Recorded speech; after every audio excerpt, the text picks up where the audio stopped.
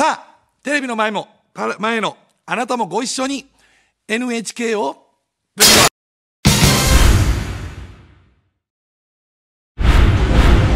だってコートなんだから次の衆議院終わったら10億とか入ってくるからね。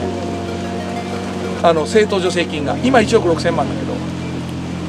そこはめっちゃ賢い。あの太郎さんみたいなお金の使い方しないの。太郎さんって計算が多分弱いからあの9人とか出しちゃったのよ。あれ全国に出したら全然違ったの太郎さん。本当はね。うちよりも太郎さんのところは2.5倍ぐらい取ってるでしょ票全国比例。うち90万票で向こう230万ぐらい取ったでしょ。なのにうちの方が政党助成金多いんですよ。要はね計算能力が著しく乏しいと思われる。と思われるだけですよ。だって僕彼とそんな深い話しないけど僕からしたらもう首かしげるようなこといっぱいしてるんで。あの計算力はね。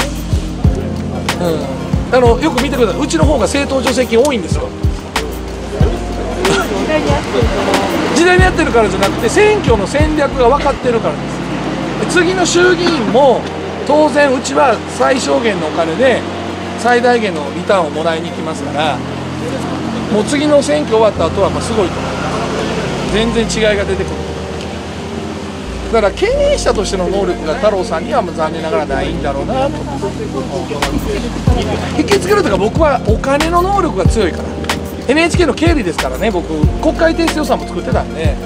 そこは彼は芸能界でやってきてるから芝居がうまいんですよ。演説してるのはあの人なんかもう完全に誰か書いてますから。太郎さんが作ってるとは思えないで僕はそう思いますよ。それだけデータがうん、だからデータを出せて演じる能力は彼は20代30代やってきたわけですよ。で僕は20代30代計算をするっていうか予算書を作ることをやってきたんですよ。契約とかね。だから全然その数値的なこととか政治家としての能力はもう年も全然違うし。